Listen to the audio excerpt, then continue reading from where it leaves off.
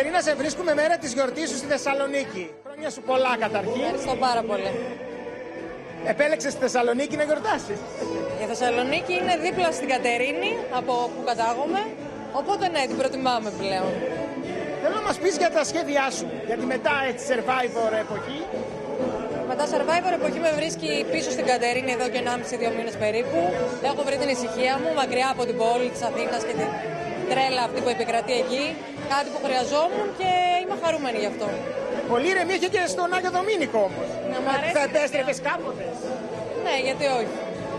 Υπάρχουν κάποια άτομα που να έχεις κρατήσει επαφή, να μιλάτε συχνά; Ναι, έχω, έχω αρκετά άτομα που μιλάμε συχνά. Ε, δεν έχω κάτι να χωρίσω και με τα άτομα που δεν είμαι κοντά δεν έχω κάτι να χωρίσω.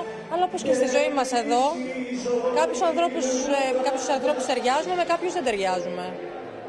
Σου ζητάνε συμβουλές για την, ε, κάποιοι που πιθανώς θέλουν επίδοξη survivors.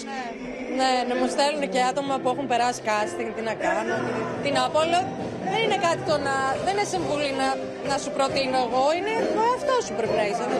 Δεν είναι να, σου- να πεις κάτι και να σε διαλέξουν.